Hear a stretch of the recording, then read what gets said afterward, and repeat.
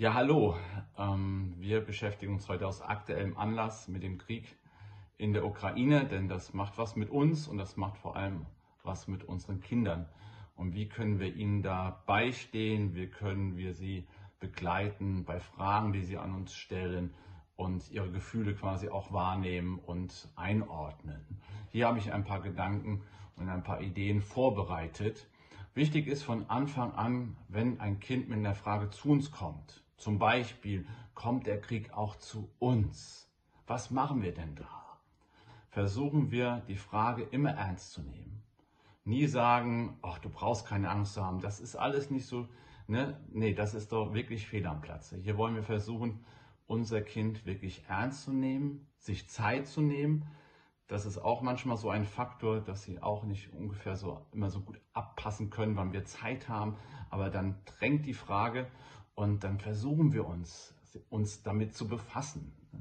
und ihnen dann auch gut zuzuhören und vielleicht auch mal eine Gegenfrage stellen. So, wie, wie stellst du dir das denn vor mit dem Krieg? Hast du da eine Vorstellung dazu? Also nicht gleich sie volllabern mit unserem Wissen, das wir haben, sondern auch vielleicht mal eine Gegenfrage stellen.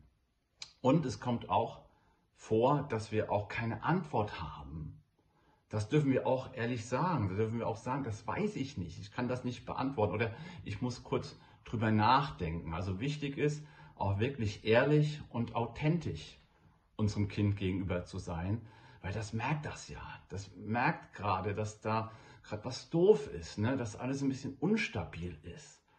Und da müssen wir für sie da sein, mit der maximalen Ehrlichkeit und Authentizität und auch mit der maximalen Nähe. Denn das ist das Allerwichtigste. Nicht die Fragen gescheit zu beantworten, sondern ihnen wirklich immer zu vermitteln, du bist nicht allein, wir sind für dich da, du kannst dich auf uns verlassen. Das ist für das Kind in dieser Situation am wichtigsten.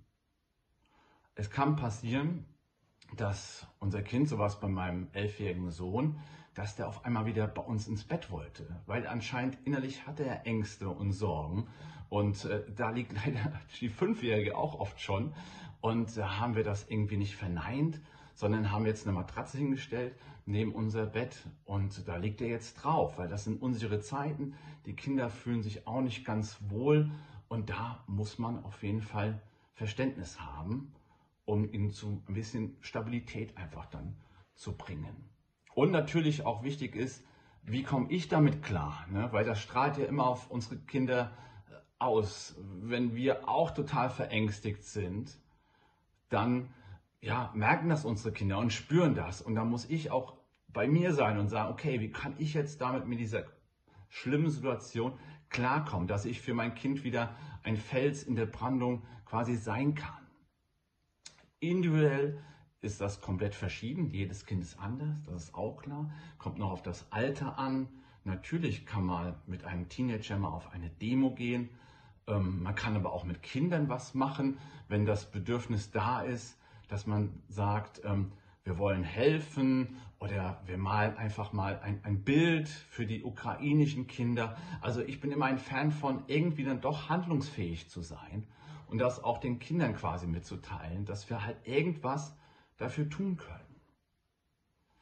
Und was ihr Eltern dafür tun könnt, ist natürlich nicht nur die komplette äh, Liebe und Nähe euren Kindern zu schenken, sondern bei allen Tipps und Gedanken vertraut auf euer Bauchgefühl. Ihr habt ein tolles Bauchgefühl und, weil wir unsere Kinder lieben, auch ein Herzgefühl. Und das ist, obwohl wir denken immer, wir machen alles falsch, dann oft der Weg, quasi alles richtig zu machen.